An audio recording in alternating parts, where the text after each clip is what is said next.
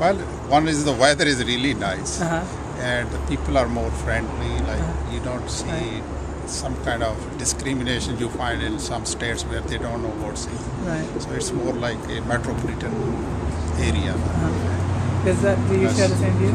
It's Pretty much uh, a- it's a central place. Uh, you are you have four or five highways from here which are very very accessible. Right. You can go anywhere you want. Right. That helps.